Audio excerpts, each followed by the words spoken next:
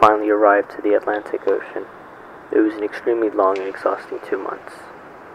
We've managed to prepare for our designated site within the small limitations of time that we've been given. I'm just worried that the four we've sent out have been gone for too long. It's safe to say we can't leave until their return.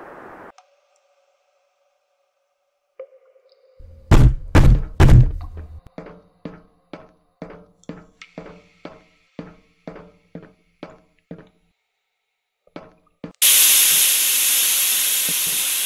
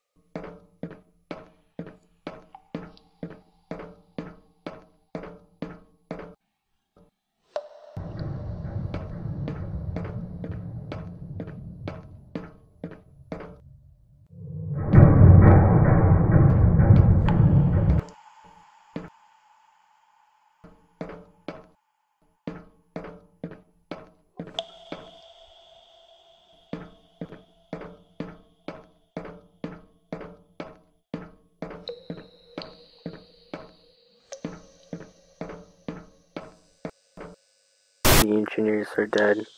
We've lost all communication to headquarters. Hardly any of us made it out alive. It created carbon dioxide leaks in the basement. All gas masks were destroying the breach, and I might have inhaled too much already. I don't know how many of them are beneath us. All I know is that one is lurking. I've managed to ration all the food I could find, but I don't know how much longer it can last.